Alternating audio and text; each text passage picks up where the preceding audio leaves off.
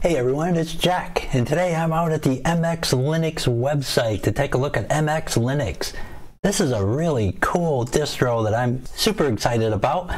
This is something that I found on DistroWatch. Actually, I've known about it a long time, but I really hadn't thought about it. And I was at the DistroWatch website and kind of noticed that it was at the very top of the popularity list. That kind of piqued my attention and made me say, hmm, maybe I should take a closer look at this. So here I am.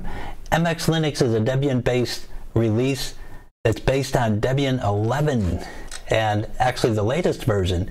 Plus, MX Linux also has backports available by default and even to their MX repositories, which have a lot of the latest and greatest software out there.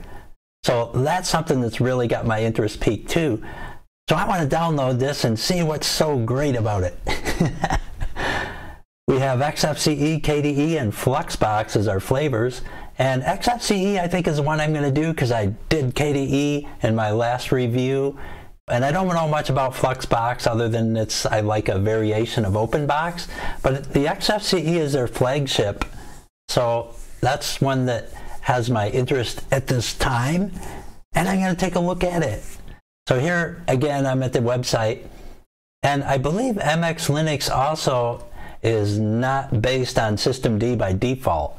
However, the systemd files are on it, and you can, at boot up, set it to systemd if you wish. So you do have options here. So it uses sysv init by default, and then systemd is an option that you can enable in the advanced menu at boot up. And I'll show you a little bit more about that during the review. So anyway, here we are at the home page. MX Linux is a cooperative venture between antiX and MX Linux communities. So it's a family of operating systems that are designed to combine elegant and efficient desktops with high stability and solid performance. Yeah, that's always a great combination, I think. And then MX's graphical tools provide an easy way to do a wide variety of tasks, while the live USB and snapshot tools inherited from antiX add impressive portability and remastering capabilities. Extensive support is available through videos, documentations, and a very friendly forum. I like friendly forums. That always makes things better. And then we have some notations here that's showing the MX21 AHS ISO is now available as well. And I'll go into a little bit more detail with that in the review too. The AHS ISO has the latest kernel, or at least close to the latest kernel. Uh, for people that need more hardware support for newer type graphic cards, you might have a specific situation, maybe uh, for video editing or possibly gaming. So that is another option which is nice and the AHS repositories are a big plus for certain people, but in most cases you probably won't even need it. And I would probably be one of those people myself. There's links available also to the MX21 AHS XFCE release candidate 3. And here's the XFCE desktop. I'm just gonna go and download this right now. So scrolling back up to the download link here, just going to hit download, going to download a copy. And what I'm going to do is similar to what I did in the last video. I'm going to install it onto real hardware and then review it from real hardware. But I'm going to load it in and do a parallel install on a VM so you can kind of see the install process uh, unhindered. from the VM point. And then after I run through the install process, because the installer is different than your average Calamares, so I kind of like to just kind of run through that too so you can see that as well. So let's get to it. I'm going to download this and I'll be right back. Okay, here we are in VirtualBox and it looks like we have a VirtualBox video option here. So I'm going to go with that, I guess. I'm going to select that. That's kind of cool. So apparently MX Linux can detect if you're running in a virtual box. And like I was saying before, the install will be in VirtualBox and then after that we'll go on to a real hardware where I installed it onto an actual machine. So this is Wildflower is the name of the release here. That's pretty cool. And here we're coming into our full screen, which it went in right into full screen, which is pretty nice. I like that. So now we got our connection established and our full screen and here we are and wow this looks great. I love that wallpaper too. That's really cool. Very consistent with Wildflower, the name. And it looks like we have our panel here on the left side, kind of like Unity. And there's a Conky up here in the corner. I like that too. That's very cool. It's got the time and then the date. And then we have our Wildflower MX welcome screen, which has all kinds of great stuff on it. That is really cool. And I'm pretty sure this welcome screen is probably going to pop up after the install too, so we'll get to that. And I can see here user demo. They even put the passwords in here for your convenience, which is nice to know too. Demo and demo for the average user. And then if you need to go into super user or root, it's just root and root. Root and root. Root and tootin'. so let's get to it. I'm going to go ahead and hit this MX Linux installer here. So here we start out with the terms of use and it looks pretty harmless. and like I said, uh, by default this is using sysv and not systemd, so that's kind of interesting too. sysv, if I remember right, is like the original service stuff that uh, was in Linux way back. So yeah, I think when you start a service there, all you do is type in sudo service the name of your service and start or stop. Not a big deal. Let's hit next. And so our type of installation, regular install using the entire disk or customize. I'm probably going to go with just regular since we're on a VM. But if you're going to customize this, uh, let's just take a quick look. We'll go to next. And here you can see that we got our area here that we can kind of customize. And we got the whole disk selected here, which is Btrfs. So you would probably choose a root, I would assume here. And then here it's showing you that it's going to format it in the ext4 format. Now, if you were going to just choose one of these things like home, for example, let me just expand that a little bit. Let's say you had a couple partitions on here and you wanted to install your set your home drive on a separate partition, but you didn't want to format it. Then under this format here, when we selected home, you see preserve here. So preserve means that it will not overwrite your drive. So that's good to know. And then if you did for some reason wanted to format over your home partition, all you have to do is just select something else like ext4 or the same, Btrfs, and now it will format it. If I was going to go to the next step, then it would bring up a little box where you could look at the details, and under the details, it would tell you what partitions are going to be formatted and what aren't. So that's just, you know, a little FYI in case you're doing a little more complicated install and you want to have a separate home partition that you don't want to install over. And then you can also write in manually here, you can just put in slash home or slash just slash for your root install and so forth. So easy peasy. Just thought I'd share that real quick. Let's go with regular install and then hit next. And you can also encrypt the disk if you want to. No need on a virtual. And then we'll go yes with formatting and it gets right into the install. So this is cool. And by default, it's going to put grub in here. But I also want to mention, uh, I've noticed that some people have confusion during this install when it gets to 94%. It just stops. And some people are confused like, why did it stop? And then it sits there forever. and it never goes anywhere. Well, I'll show you what the deal is. Actually, the simple is really the solution is really simple and it's pretty obvious. So if you ever got stuck on it, you'd feel kind of dumb once you realized what the issue was. But I'll show you that. This is a very quick install because I had already installed it on my hardware machine. So I've kind of been down this road before. so this is going to be very fast. And when it gets to 94%, I'll kind of come back. For now, I'm just going to pause this will be at 94% in probably 20 seconds. Okay, here we are. We're back, and now we're at 94%. And as you can see, it says pause for required operator input. I think uh, a while back, maybe a couple years ago, maybe more, I think originally uh, there was a time where you didn't have the pause for required operator input in there. But still, uh, it is a point of confusion sometimes for some people. And so all you got to do really is just simply hit next. And then it's going to ask you for more input. And so here we got, it wants a computer name. And the computer name could be anything. It can be MX or, or JAX, PC, anything. Computer domain, you can leave it as example, or you can just call it something like Jack's domain. and then work group. So Samba server for MS networking. That's really nice. And I just leave that checked, even if I'm not going to be connected to a Microsoft network. I like having it checked anyways because you never know what the future holds. And it doesn't hurt anything by having it there. I'm going to hit next. And here we are for our time zone.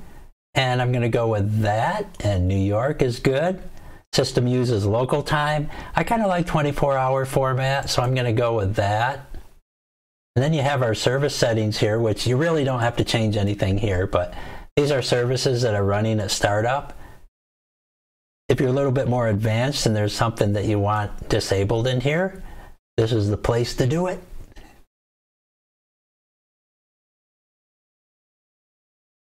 And then we'll hit next. And now we'll just go with our account names and so forth.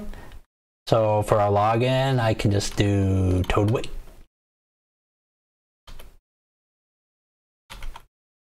And a big password. And then if you want to have a root account as well, just check the box here. Personally, I prefer having one. And then just give it another root password. You can use the same password if you wish. It's all up to you. And then here you can auto log in if you don't like logging in, or you can save live desktop changes here, which are desktop modifications made in the live environment will be carried over to the installed OS. How cool is that? So if you are modifying things here, like let's say I took this bar and I wanted it on the bottom, I could move this panel down to the bottom and then check this box and then after the install, that panel will be on the bottom. That's really cool. I like that. Excellent. Gonna hit next. And now it should continue onward now that we answered all those questions. So this 94% is now turned into 95 and then it'll be 100. I'll restart and then I'll go on the real machine rather than restarting in the virtual and we'll go from there on real hardware and see how it went. Okay, we got it all installed and by default automatically reboot the system when the installer is closed is checked. That's good. I'm going to hit finish, let it reboot, then I'll turn off virtual machine and go into the real machine. So I'll see you in a second. Actually, before I go into the real machine, just wanted to show you the MX Linux startup. So by default, we have the MX21 Wildflower here. So it'll do its startup. And then you get this like a splash screen afterwards, which is blank. And I'm not full screen now because it's VirtualBox. But that's kind of neat too. You get this cool little splash screen and then it gets into your login. So that's kind of what it looks like when you boot up. So from there, I'm going to close down the virtual machine and then I'm going to log right into my real machine and we'll take a look at this baby. Okay, and here we are at our desktop. So we are now installed and wow, this really looks awesome. So let's jump over to our welcome menu and click on tools here and see what we got in here. So here we got our live USB maker, snapshot, CH Rescue, boot repair, user manager, lots of stuff here under tools, all kinds of things. Boot options, menu editor. Let's take a look at boot options real quick and just kind of get in there. Wow, this is cool. So you can modify the grub boot screen here. Hit startup. That's nice. You got enable, enable saving last boot choice. That's good. Enable theme, which is kind of what we saw just a minute ago, that linen gray kind of splash screen we saw. If we hit preview here and click that guy, that's what we saw at the boot up. So there's where you can kind of change your themes for your boot up. That's kind of neat. And then here, let's change our timeout. By default, it's five seconds, but let's make that one second. That looks good. And then here's where we can choose for our default boot. So let's for, say, for example, you wanted to switch over to System D for default. Then you would simply select that option right there. And then you would boot into System D. Then you would check this box, Enable Saving Last Boot Choice.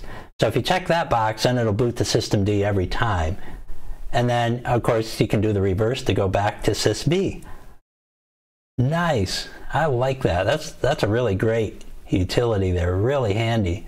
And then we have NVIDIA driver installers, about uh, codecs installer. That looks interesting. Conky, date and time, system sounds, tweak, brightness, network assist. Wow. And we got software, package installer. That must be the MX Pi there, MX package installer. So that is nice. Great welcome screen here. And even a device mounter. Nice. All right, we'll have to take a closer look at some of that stuff. And as you can see, here's updates. Looks like 39 new updates are available, so I'm going to click on that. That turns green when updates become available. Automatically answer yes to all prompts during upgrade. That's a kind of a nice option. I think for now I'm going to not check that because there might be a question that might be important. So I'll just leave that there and log in. And that all looks good to me, whatever it is. no, I'm kidding. So we'll run all these updates here and let that go. Very cool. So that ought to be pretty smooth. That'll give us the latest and greatest of everything. And while that's running, let's explore some more. Let's see what we got here. FAQ user manual, always handy stuff, tools. Let's take a look at Tweak, see what's in Tweak. Your current panel settings have been backed up in a hidden folder called .restore in your home folder. Nice, oh that's good to know. So if I ever hose something, I know how to fix it. or at least restore it. So our panel is over here on the left, as you can see by default, display panel vertically. So it's kind of got that Unity kind of positioning. If I go up here and click display panel horizontally, now it's at the bottom by default, or you can put it on top, just hit apply and boom, there it is. Nice. Now you kind of got your standard three panel kind of look there. And there's your whisker menu. That looks pretty darn good. And what's this Docklike options? Don't show the list. Now this is kind of unique. Show preview thumbnails for open windows? Whoa. Let me check that. Is that what I think it is? okay, so don't need to hit apply, I guess. Let's see. Wow, I don't believe it. Check that out. I have never seen that on XFCE before. I didn't even know you could do Windows previews, thumbnail previews down here in the taskbar on XFCE. That is wild. I've seen it, I mean, other than using like Compiz or something, uh, I could never do that. That is so cool. Wow, gold star for MX Linux. That is neat. Jeez. All right. Okay, well, there's my first big surprise of the day, and I'm loving it so far. Wow. So, huh, can't get over that. Okay, so that's how you do that if you like thumbnail previews. Here's our theme tab. So if we go down here, uh, MX Comfort looks like our default. Just going to open up the file browser there so we can see some changes. And the folders kind of look nice already, the icons. let's go with dark here. Dark Pueril. I don't know how you pronounce that. And then Dark Azul kind of has a blue. And then Aliz is kind of red. Nice. And there's Greybird Dark.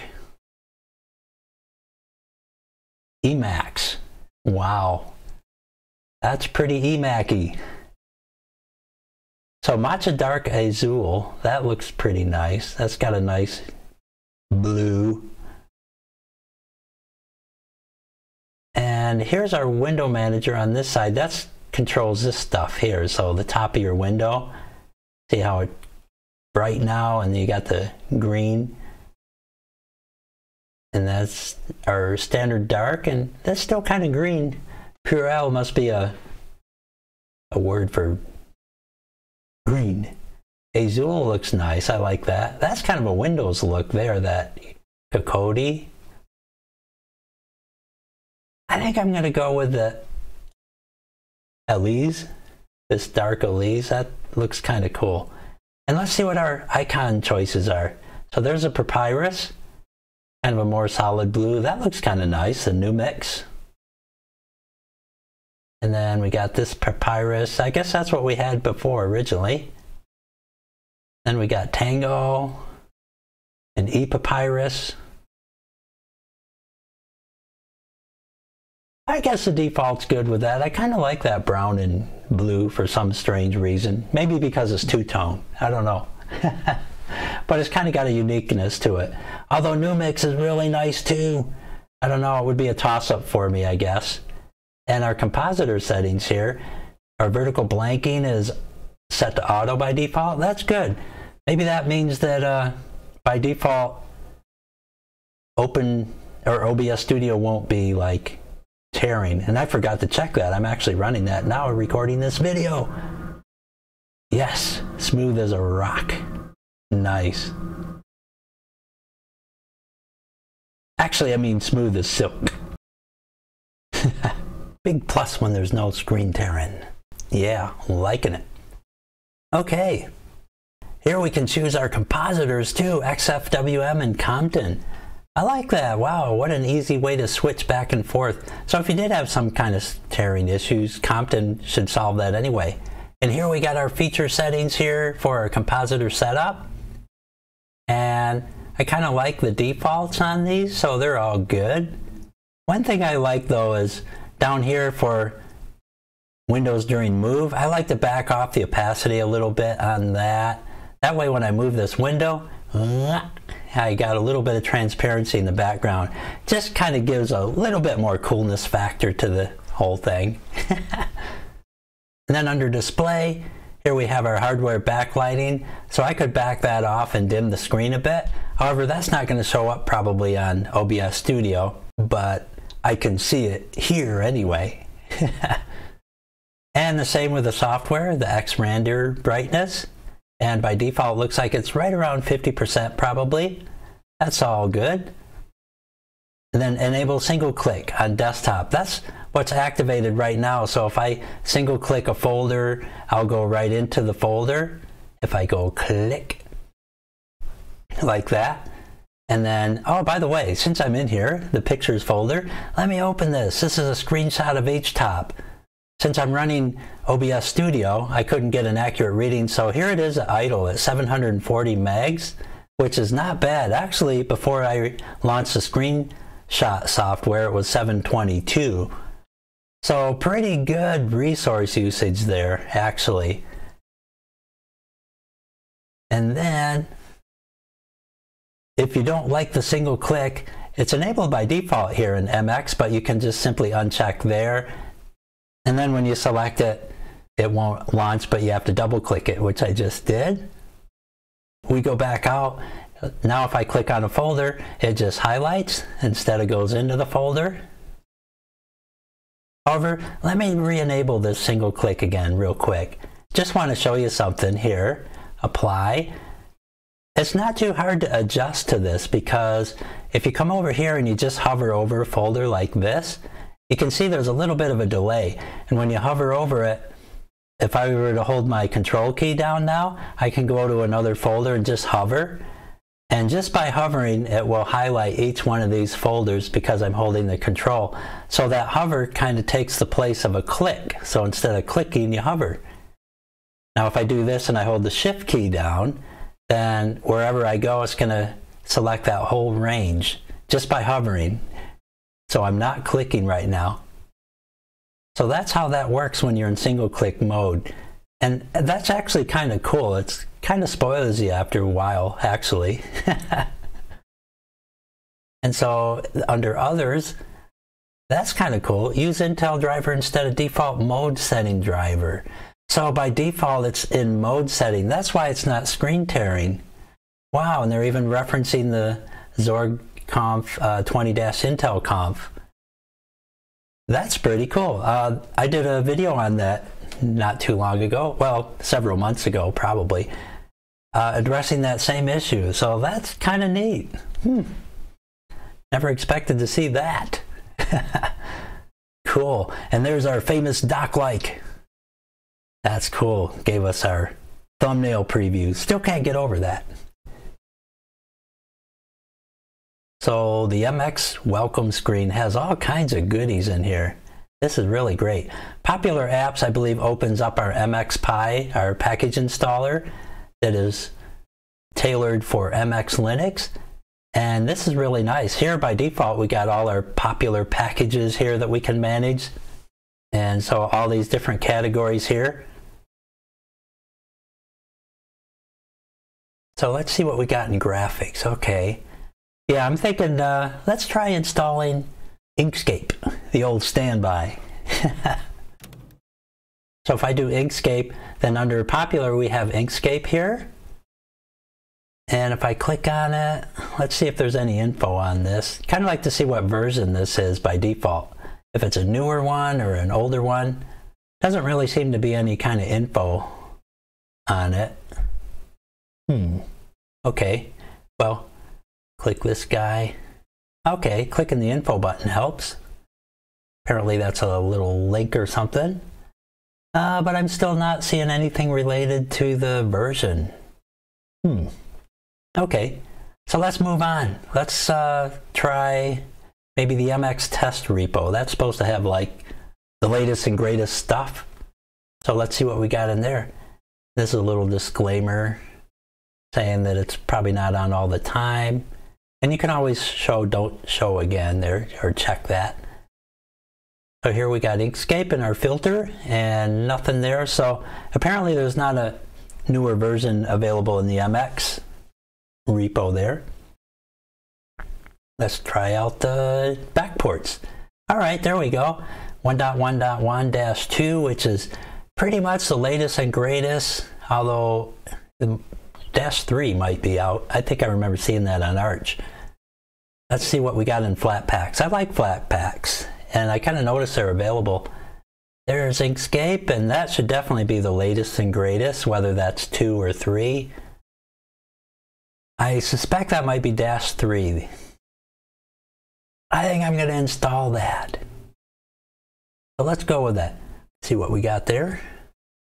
Huh, okay, just showing that it's stable.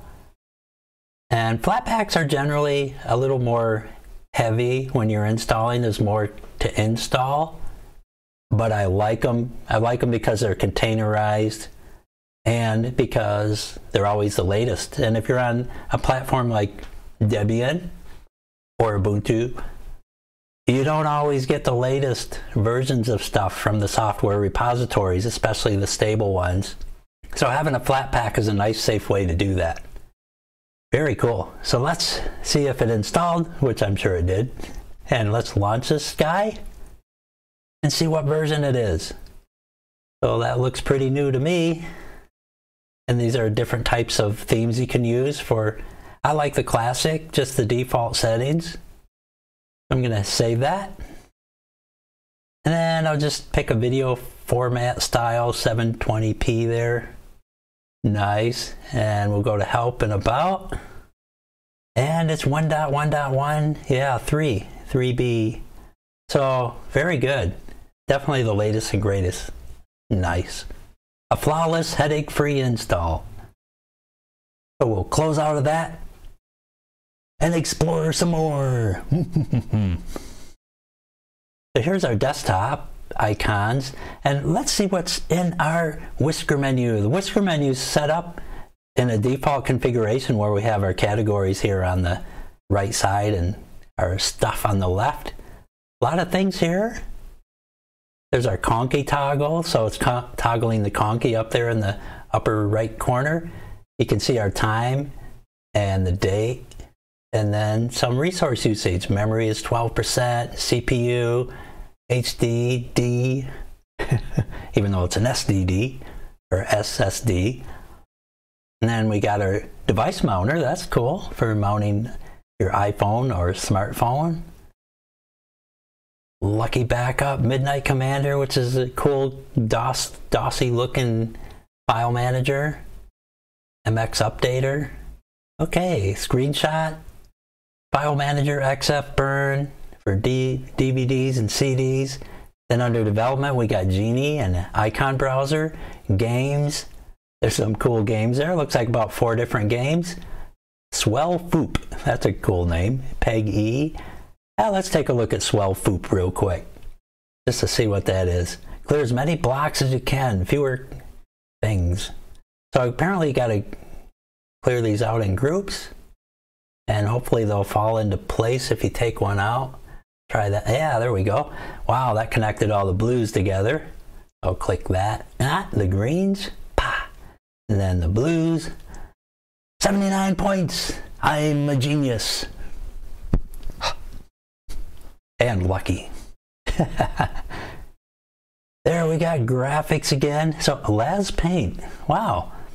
That's a app, I think that's made in Lazarus, which is a IDE development environment. Done a bunch of tutorials on those before.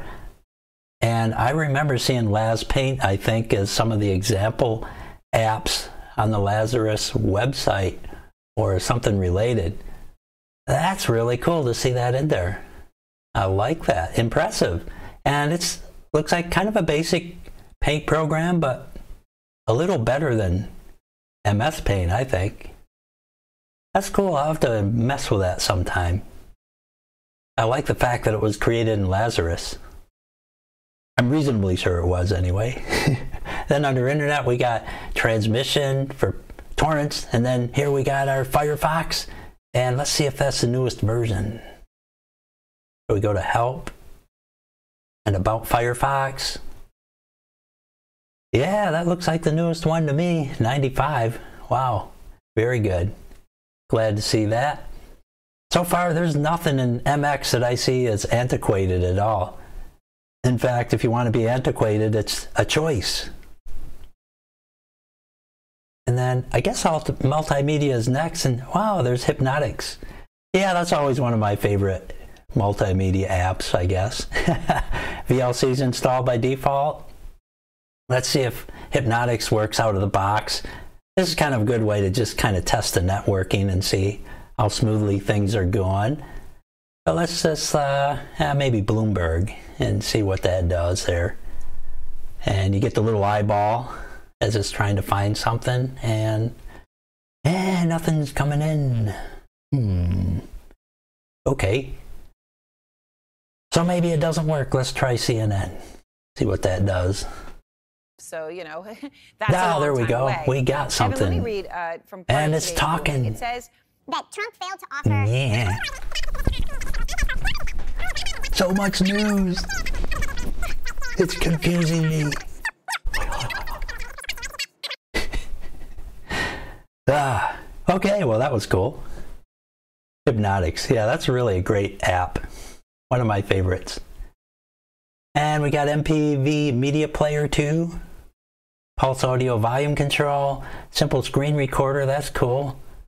I love that app too.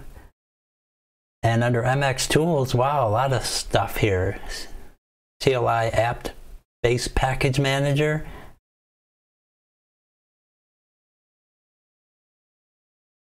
There's our device mounter again, job scheduler, live USB kernel updater. That's kind of cool. Uh, MX codecs installer. Huh, let's take a look at that. Probably installs a restricted codecs that maybe you don't normally get. Whoa, went right into the install. Okay. I was thinking it was going to ask me if I was sure.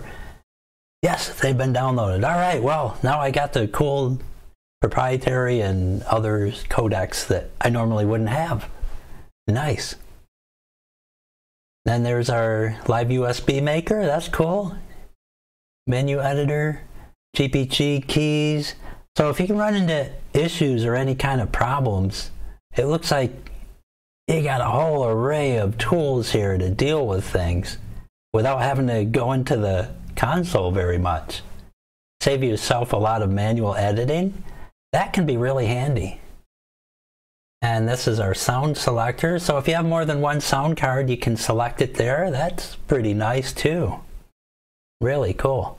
And MX User Manager. Hmm, let's take a look at that. Because user management usually isn't very GUI-fied in XFCE, so nice. Got add user account, change your password, delete user account, rename the account.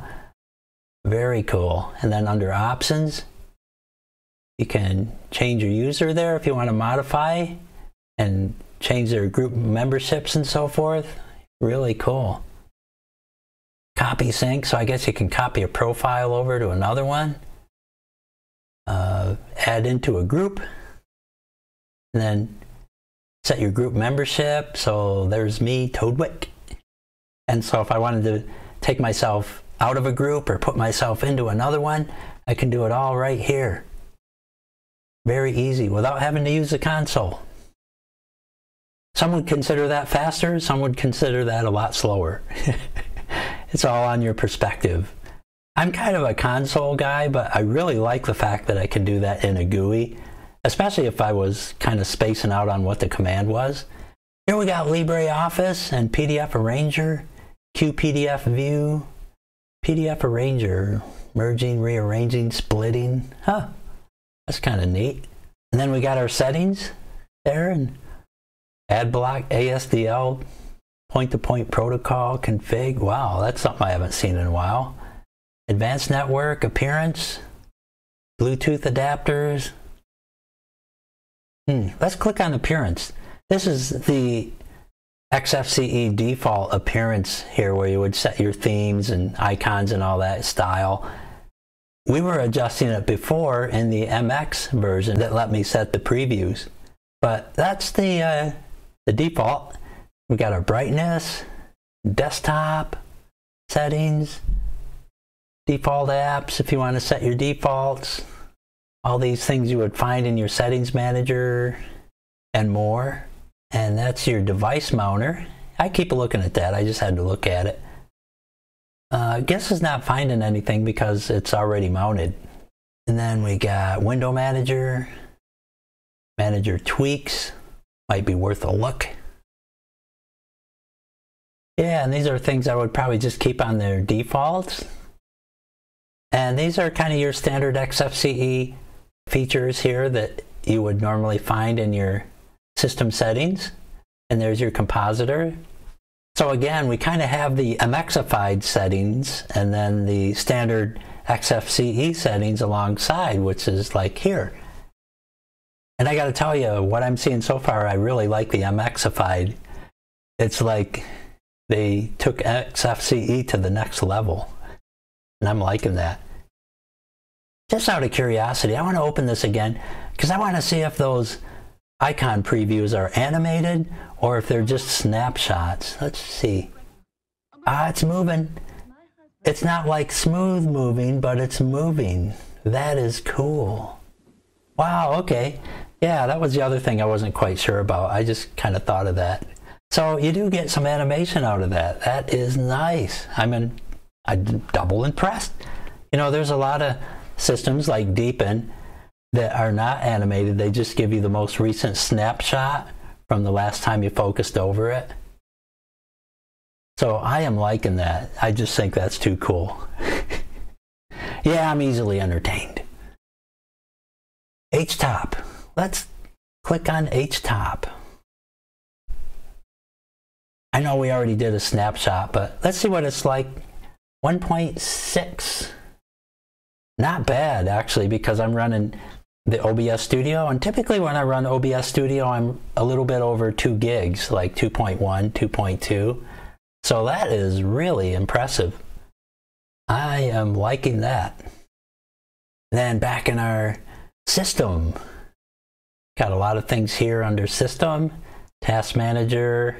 I always liked XFCE's task manager. And Timeshift, which is really great to have for backing up your config. Switch user. There's our settings manager. So if I click on that, you'll see a more familiar settings. But wow, about me, cool. So here you can set your picture. So that'll show up in your login or also in your file menu. You'll see it there. So nice. I like that you can set your picture. And I really don't have a picture now, so otherwise I'd put one in there. Then you got our SysTray desktop. So if we click on that, we can probably change our wallpaper and stuff like that. You can also do that by right clicking on the desktop area. And let's see what we got here. The big B, it looks like a skyscraper. Yeah, nice. Now that's a building I can look up to. and there's a duck in a algae filled pond. He's probably thinking, what a revolting development. That kind of looks like my home solar system from, uh, oops, you didn't hear that. And then we got flowers. And here's our wildflower background, which I really like. And this looks like a dimmer version. Nice. I like that if you need something a little more subdued. And a, wow, water and a pond. That's a nice animated one there for MX. Another cool MX. I was in the way. A building. And that's a nice one too. That's a very cool one. Even with a dark theme, that looks good actually. It seems to work. And the sky and ooh, this is nice too. Wow. Hmm. Now I'm kind of torn between this one and the wildflower background because wildflower is kind of my favorite, but that is really nice too. Hmm. Yes, that does work. It's not busy at all. But neither is this too much. I guess I'll go with that. That's still kind of got an edge, but it's a tough call. And then here we got our log out settings and restart and all that. And here's our clock with our with our calendar. Nice. And then we got our display brightness and all that. And I know I'm in the way. I should scooch out of the way here. So there's our display brightness. Unmount, Bluetooth enabled. No updates available. And then of course there's my OBS studio running. And then our network settings here. And that's all looking good wired and Wi-Fi as well. And then we got that and our volume controls. Very good.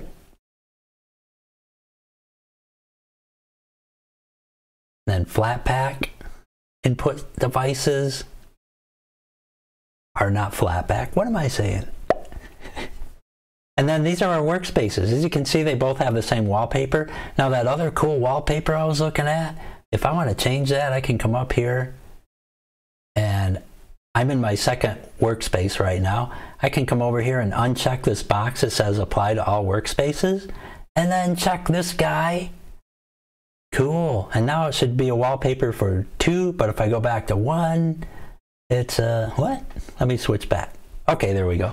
Yeah, go back to one, and then we got the wildflowers, and on two, we got this cool one. now I can enjoy both. So that's how you get separate wallpapers if you want to have different wallpaper on each workspace instead of the same one. That's how you do it. Nice. Let's jump into our console here real quick because I want to see what our kernel is. We'll do a uname hyphen R. And it's 5.10.0-9. All right. So that's a good stable kernel there. And let's do a NeoFetch. And so here we can see we're running the MX Linux on a Dell Inspiron and 5.14 for our bash, XFCE 4.16 with the XF Window Manager 4, Liberation Mono. So yeah, looking good. Now let's go over here and you know by default we got our categories here on the right and our stuff on the left, our apps. I kind of like it the other way around though. That's just kind of me. It's more traditional in my head. so if I go to properties here by right clicking on the menu icon, and let me just close that real quick. And if I come over here, if you look down here where it says position categories next to panel button right here, we need to click that. If we click that, I believe that's going to reverse those categories around. Let's take a look. Yeah, there we go. So now I got my categories over on the left. So if you like your categories on the left instead of the right, then that's all you got to do to kind of reverse that. And then here it's got show category names, which those are all defaults that I like. And here's where we can switch our panel button in case you want a different graphic down there. And for behavior, by default, it's switch categories by hovering, which is nice. And most apps your distros, they don't have that checked by default. I'm glad to see that checked. That switches the categories just by hovering. And then let's look at our panel preferences. So if we go up here, everything is looking good. Our size is 35 pixels. If we wanted to make that smaller, we could just tweak that down or tweak it back up. That's how you adjust the size, easy peasy.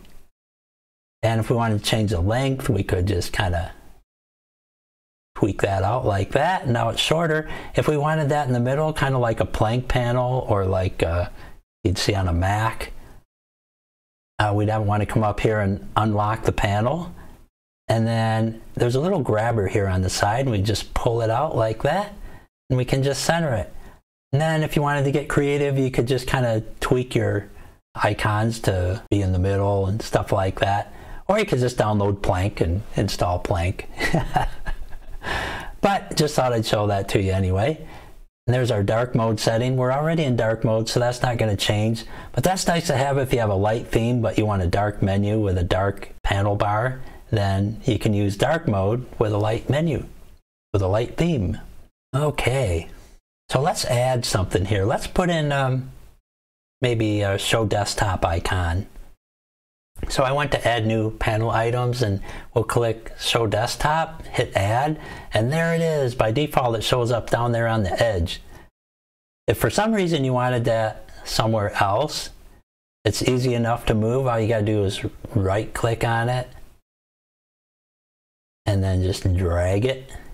Select move, of course, and then just drag it where you want it. Like, say you could have it right there and then we'll right click, move, and then set it back there to put it back where it was. So that's how easy it is to move stuff around. Easy peasy.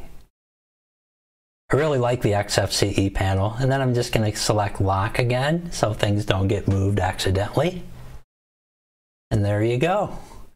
Now when I click on it, I can see the desktop, click on it again, and it brings the windows back. So essentially what it's doing is it's minimizing all the open windows and then maximizing them again. There's my iPhone, got that hooked up, and it's nice to see that it just detected that right off the bat. I didn't have to install any software at all for that. That's really nice. I'm liking that. Then under system, if we go down to, uh, where is it? I saw it before, and I wanted to share it with you. Let's put a kernel. Yeah, there it is. Live USB up kernel updater. This is kind of cool. This is a utility that if you wanted to change the kernel in your live version, you could actually plug in, like I got my EU drive plugged in right now. And so if I wanted to change the kernel to like 5.15 or something, I could run it through here and change it on my live version. And then when I run live, I could have the newest kernel in there. so that's kind of cool too. And it's also easy enough to update your kernel if you wanted to do that in here. However, you could lose stability. I probably wouldn't do that, but you can go out here if you got to have a new kernel. If it's that important, you can go here. You got the AHS ISO, which they say is now available as of November 22nd. And it's got the 5.14 kernel, and it's got the latest Vulkan and Mesa Xorg and all that in there. AHS by design is a little bit on the cutting edge. So that's really cool.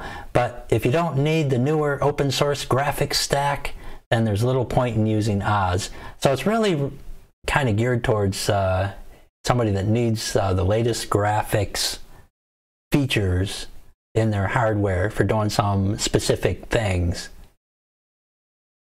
And it says, keep in mind, users of the mainline MX releases can always enable the AHS repository via MX Repo Manager and do regular updates. You'll keep your 510 kernel, but you'll get the later Mesa, Xorg, and Vulkan drivers. So that's good to know. And then we got our thoughts down here. There's Alberto. Yeah, you preach it, Alberto. nice.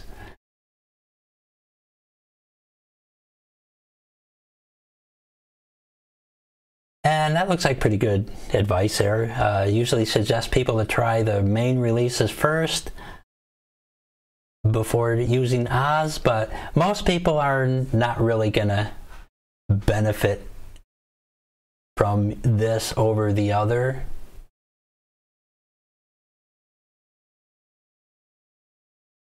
So I would say just try both. All right. So I think that's going to cover it. I got to tell you, this MX Linux, Linux, I can see why it's number one on DistroWatch right now because this is an incredible Linux, and I still can't get over the fact that I got file previews in the panel on XFCE. I've never seen that other without using Compiz or something to that effect, some kind of third party help but they have kind of done something in compositing. And I'm pretty sure that's not a default in any XFCE install because I think I would have seen that before. now, if it is, then my bad because somehow I missed it. But I really like that. And to me, that seems like it's unique to MX Linux.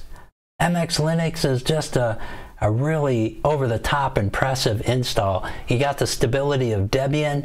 However, you can even right out of the MX repos install cutting edge newer software that still doesn't give problems to the 5.10 kernel.